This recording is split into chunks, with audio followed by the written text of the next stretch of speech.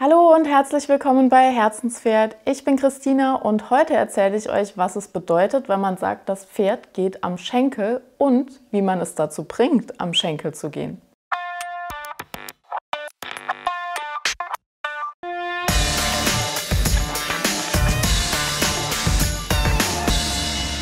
Die Reitersprache ist ja nicht immer so einfach und dann sind so Aussagen wie das Pferd geht am Schenkel oder das Pferd geht nicht am Schenkel manchmal echt ein Buch mit sieben Siegeln. Aber ob ein Pferd am Schenkel geht oder nicht, lässt sich ziemlich einfach sagen.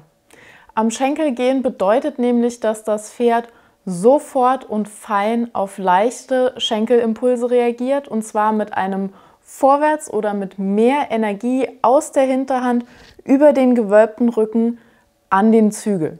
Also das Pferd dehnt sich an den Zügel heran, es wölbt den Rücken auf und es reagiert sofort und agil auf deine Schenkelimpulse. Wenn das Pferd zögert oder nicht auf deine Schenkelimpulse reagiert, dann ist es auch nicht am Schenkel. Dann heißt es oft, ah, das Pferd ist faul oder abgestumpft oder auch es ist hektisch und entzieht sich und läuft weg, weil auch ein hektisches, weglaufendes Pferd ist nicht am Schenkel.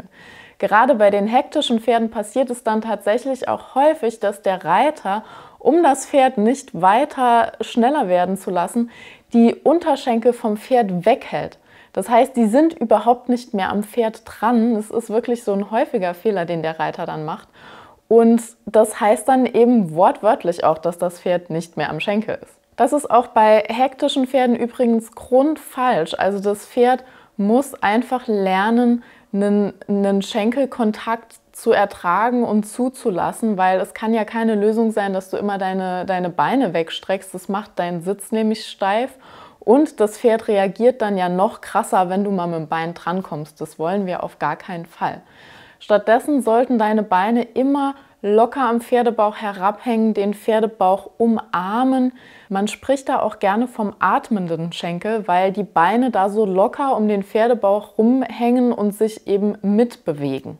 Wenn ein Pferd nicht am Schenkel ist, dann ist ein häufiges Problem auf der Pferdeseite, dass diese Energie, die generiert wird, im Rücken stecken bleibt. Also das Pferd wölbt seinen Rücken nicht auf und die Energie geht nicht nach vorne durch, sondern der Rücken ist vielleicht weggedrückt oder versteift, weil das Pferd das nicht gelernt hat oder es muskulär noch nicht schafft oder der Reiter was falsch macht. Und dann steckt die Energie im Rücken und kann nicht nach vorne raus.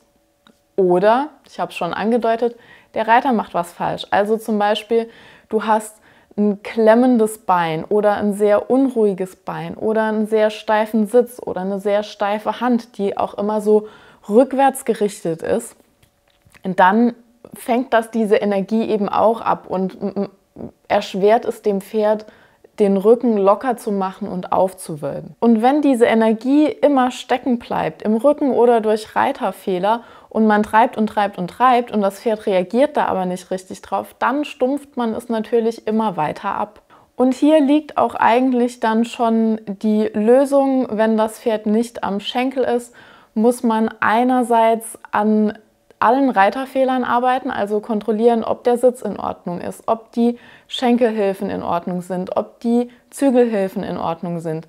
Ja, also so sich selber mal nochmal durchchecken lassen, eventuell von einem Trainer oder Reitlehrer und alle Probleme, die es da so gibt, beheben. Ganz wichtig ist auch richtig zu treiben, die Schenkelhilfen richtig einzusetzen. Und wenn das korrigiert ist, dann muss man daran arbeiten, dass das Pferd eine ausreichende Hinterhand, Bauch- und Rückenmuskulatur hat, um eben auch den Rücken aufwölben zu können und diese Energie da durchfließen lassen zu können.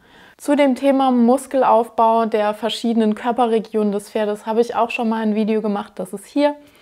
Und äh, rund um das Thema Training und Muskulatur habe ich auch einige andere Videos. Einfach mal in meiner Videoliste schauen. Und wenn das jetzt schon so ist, dass das Pferd abgestumpft ist, dann muss man daran arbeiten. Da habe ich auch hier schon mal ein Video zu gemacht.